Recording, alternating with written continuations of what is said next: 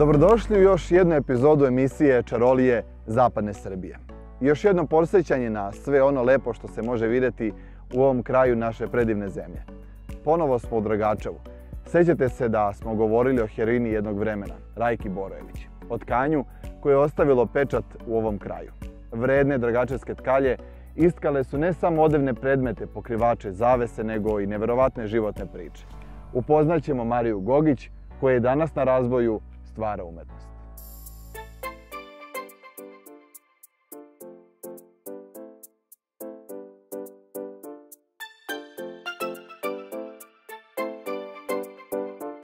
Marija, šta je najbitnije kod tkanja? Kod tkanja je najbitnija materijal, pa umeće. Da znaš sa materijalom šta ćeš da radiš. Osnivanje, navijanje, to je umetnost.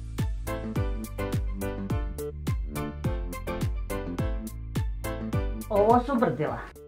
To su niti u koje se u- uvlače predivo. Uvlače se ovdje i spaja se ovdje, pravi se ta dužina koju možeš da, da rukuješ i tako. Stari, ali nije zaboravljen zanat, koga voli i dugo će se sećati. Jer ima ih mladi, ima i mladi ovdje koji vole da rade.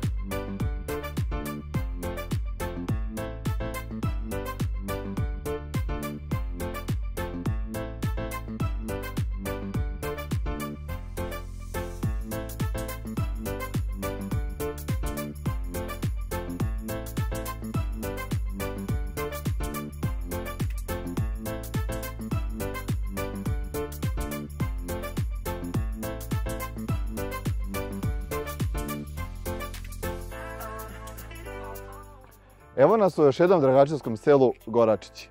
Ovo mjesto upisalo je svoje ime na stranice srpske istorije. A sada ćemo saznati i zašto.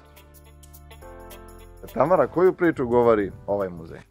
E, Nalazimo se u muzeju Goračićke bune koji se nalazi u obnovljenoj zgradi stare skupštinske sudnice iz 19. veka. U muzej je osnovan kao obeležje na događaj koji se dogodio 1893. godine između suprotstavljenih strana, tada dve političke struje koje su vladale u Srbiji. E, Liberali su poslali četu vojnika kako bi nasilno preoteli pečat i ključeve opštine, opštinske sudnice u stvari, u kojoj su bili radikali koji su štitili tadašnju vlast, odnosno tadašnje novoizabrane e, kmetove i odbornike.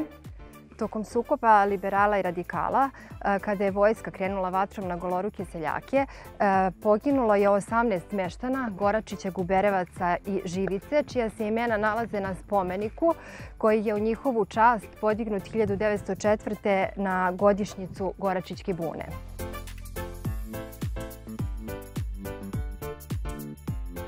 I pre Goračićke bune u ovoj zgradi je postojao i zatvor. Ovdje i danas možete vidjeti okove koji su bili korišćeni u to doba.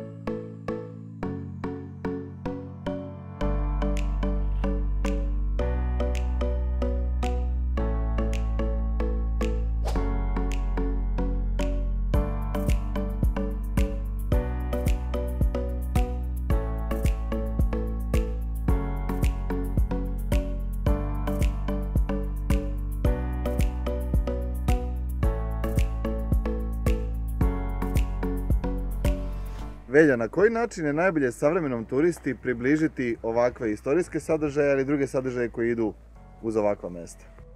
Pa evo ovako, Goračić je jedno zanimljivo mjesto. Jedino selo u Dragaču koje ima muzej, koji poslije na jedan zaista zanimljiv događaj u Goračićku bunu. Međutim, nije, nije to jedino što možemo da ponudimo u, Goračima.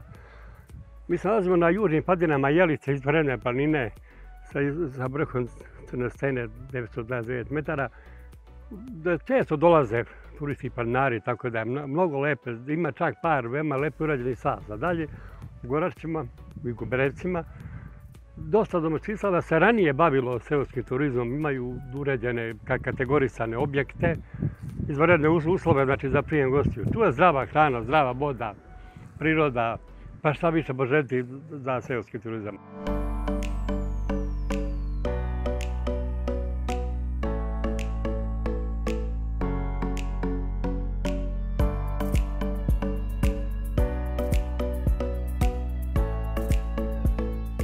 Iz kog perioda potiče ova crkva i po čemu je ona drugačija od drugih?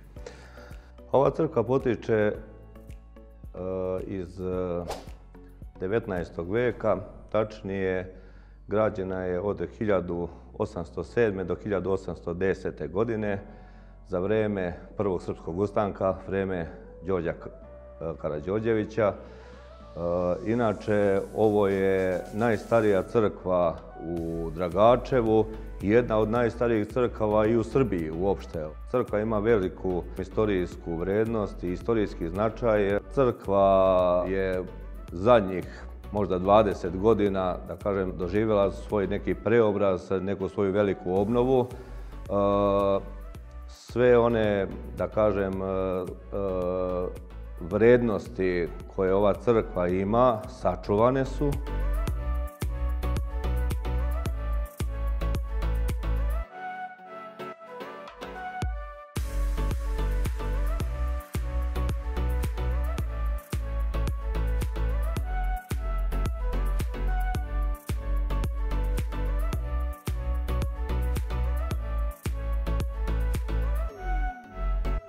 Proleća se možda najbolje vidi bajkovitost sela zapadne Srbije. U njima svako može pronaći svoje mjesto za odmah. Kad malo bolje razmislim, ovo je pravi odmor. Na jezeru, na Čamcu, baš ovdje u Vučkovici nije ni čudo što je ovo omiljeno izletište ljudi iz ovoga kraja.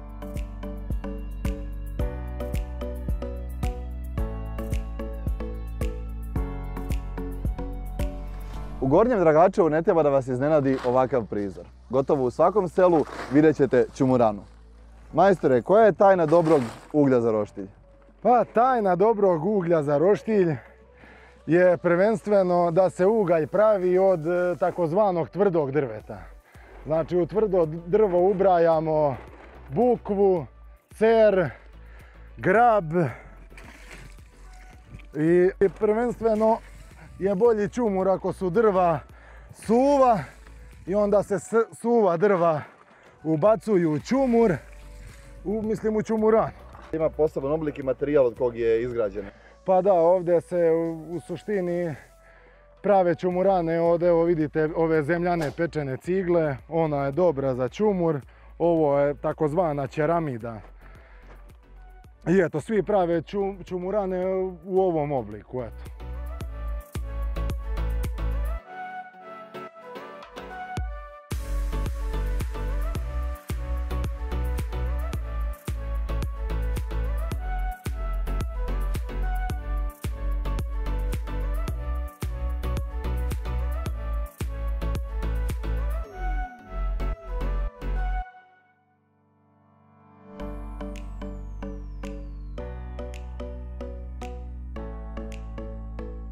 U Dragačevski kraj koji pripada opštini Lučani, turisti najviše vole da dođu zbog svjetski poznate manifestacije, koja više od pola veka promoviše naše nasljeđe i kulturu.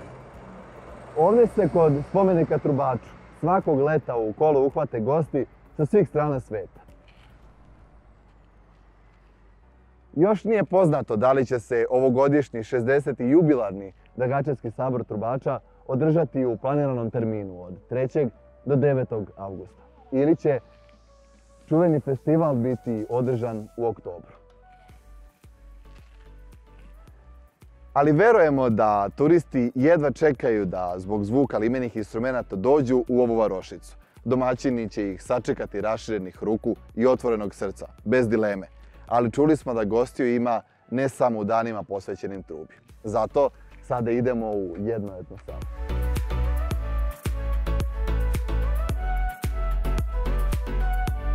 Put od Guče do našeg sljedećeg odredišta je dobar, ali na momente i poprilično uzak. To nas neće obeshrabriti.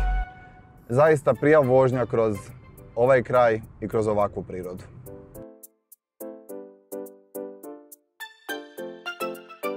Na ovom mjestu se razdvajaju putevi za Gornju i Donju Kravaricu mi ćemo sada levo. Ostalo je još samo par kilometara do našeg odredišta.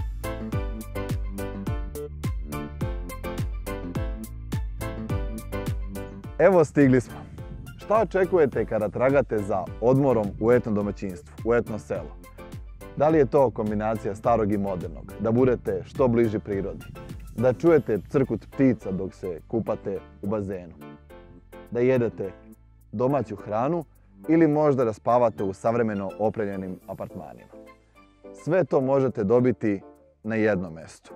Ukoliko dođete u Vajate u Gornjoj Kravarici. Niste ni slutili, zar ne? Hajde da proverimo.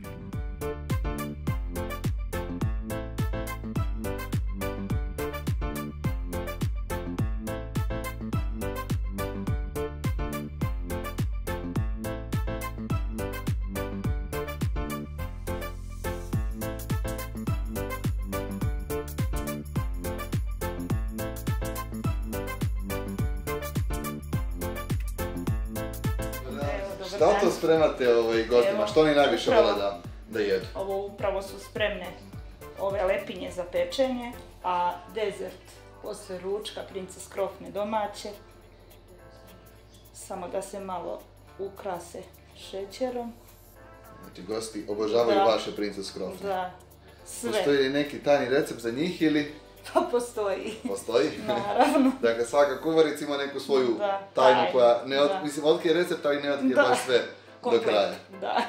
Sada je polako vrijeme ručka, šta najčešće za ručak spremate? Pa, kuvanje obavezno. Znači pod broj jedan čorba, supe, knedle. A ovdje polako pripremate Ove lepinje će uskoro ići na pečenje. Još malko da podođu i spremne su I u spremne su.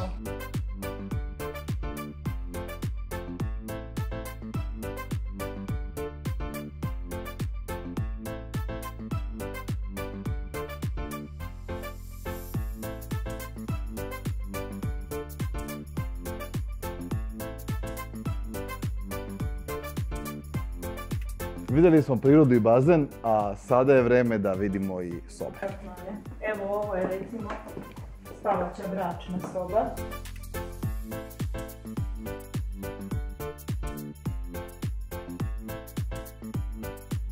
To je soba sa izlazom na terasu. Ovdje ima ostava. Kupatilo. Možete da pogledate. Tu je uglavnom za decu.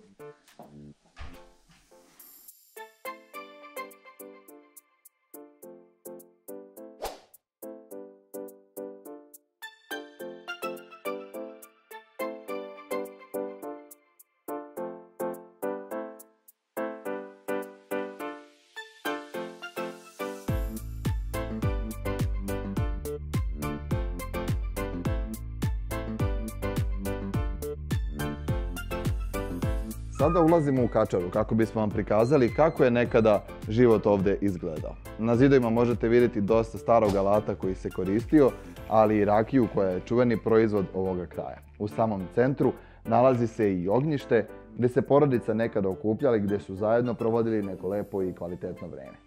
A kako izgledala spavaća soba, sada ćete vidjeti.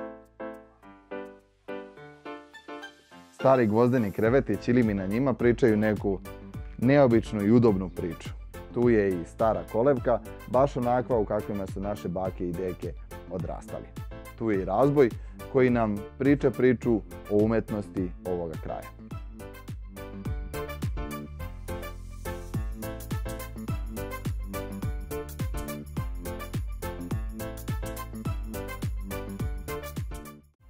Bili smo u kuhinji, a sada smo došli u bašticu gdje rastu plodovi koje gosti ovog mesta jedu i u kojima uživaju. Ako se neko zadesi ovdje početkom proleća ima i priliku da učestvuje u sadnji povrća. Ali i gosti koji kasnije dođu imat će priliku baš to povrće proizvedeno u ovoj baštici da jedu.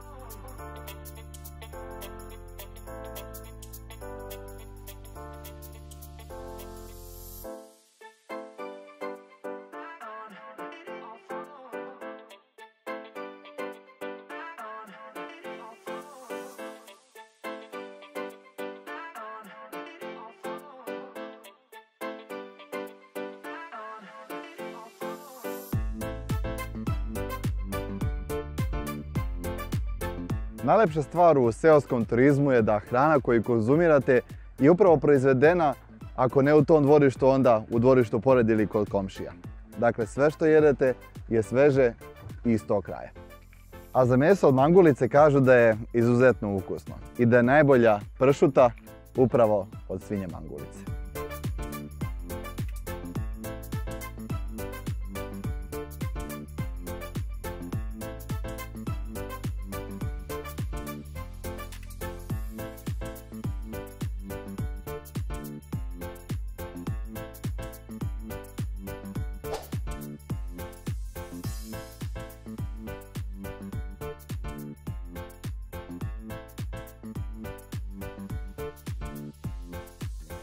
Danas u mnogim selima možete vidjeti sačuvane krajputaše. Ipak, čini se da ih u Dragačevu ima najviše.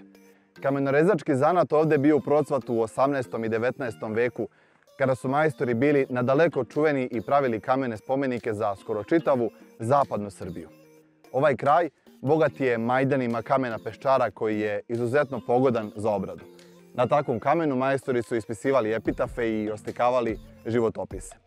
Zanimljivo je da u ovim selima možete pronaći takve spomenike i u njivama. To me podsjeti da sam baš nešto slično video i u Vijetnamu u poljima Pirinča na svom prošlogodišnjem putovanju. Priča kaže da kada je spomenik u sred Pirinčanog polja, mlađe generacije ga ne mogu prodati i ta zemlja ostaje u nasljedstvu porodice.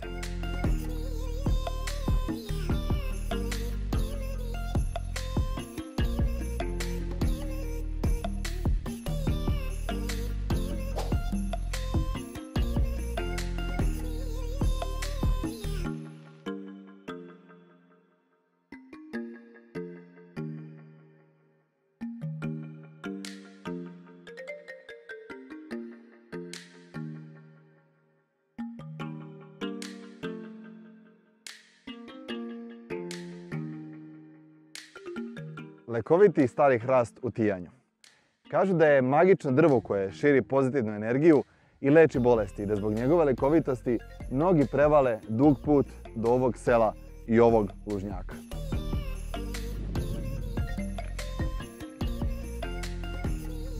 Neko sedi na klupi, neko dodiruje koru drveta, starog ko zna koliko godina.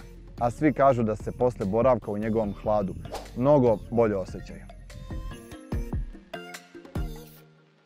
Zato sam ja se ovdje, da osjetim pozitivnu energiju i moć prirode i ovog drveta.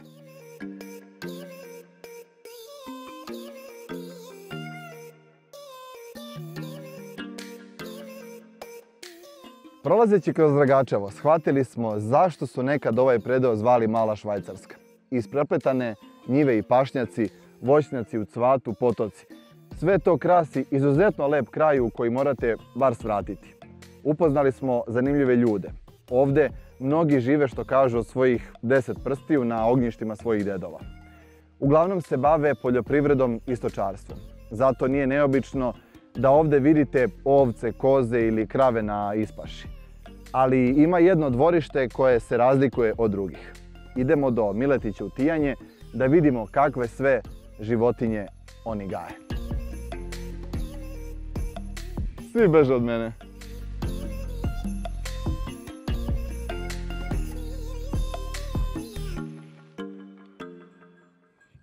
Pa odoše mi.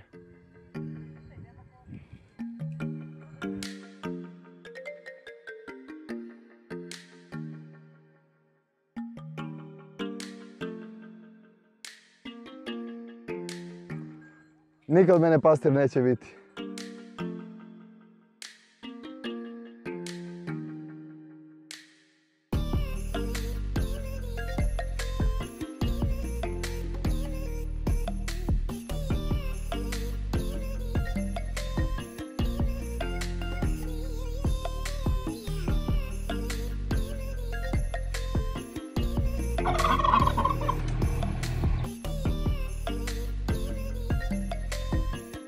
Šta sve imate vi ovdje od životinja?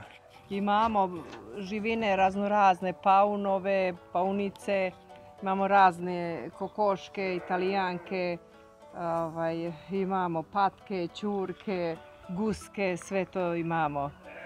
ovaj, od živine imamo čurke, evo i guske. Imamo ove bele koke.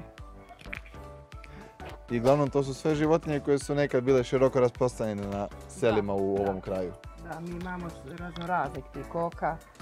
Imamo guske nasađene. Imamo 60 komada filića, ovo su sve italijanke izvedene male.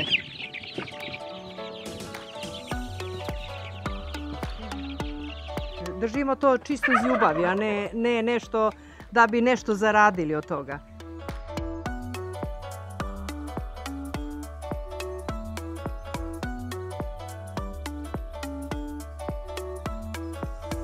Da li ovakva dvorišta i ovakve stvari mogu da privuku turiste da, dođu da ovdje ne? kod vas i da uživaju? Kako da ne, mogu sigurno.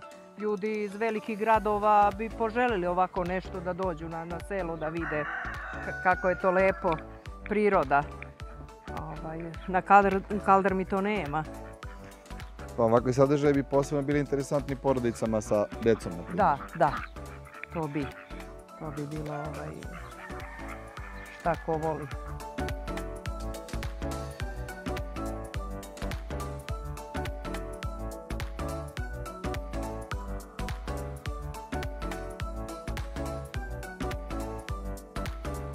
Dakle, osim ljubavi prema životinjama imate ljubavi prema biljkama. Da, pa da. zato nije ni čudo da u tijanju uspeva limun. Limun obavezno uspeva u tijanju. Dugo godina ga držimo. I čuvamo ga u zimi od mraza. I tako da ovaj, lepa biljka mnogo. A imam i tamo limun jedan isto koji je zi- zimi se ne unosi. Neka sorta nova, ne znam šta je.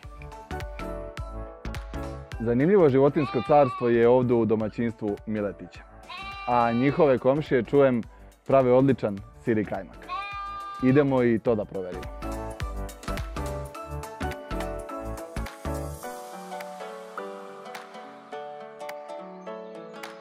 Dragačevo je poznato po stočarstvu, a u ovoj mlekari kažu da prave najbolji sir i kajmak. A tu je njihov slogan, od mene je sve počelo. Što je vaš sir najbolji? Po čemu je? Pa evo, naš sir je, kao što i samo ime kaže, dragačevski sir. Potiče sa ovih ovdje prostora, znači krave su sa ovih prostora, mleko je sve odavde, znači iz Dragačeva. Krave se hrane zdravom hranom. Najviše utiče to što je ovdje eto, isključivo priroda, ovaka kaka jeste. I eto, to je to. Znači ovako kad se iseče, soli se. I onda se pakuje. Znači to je neka vrsta, neka vrsta veće kriške. Evo to.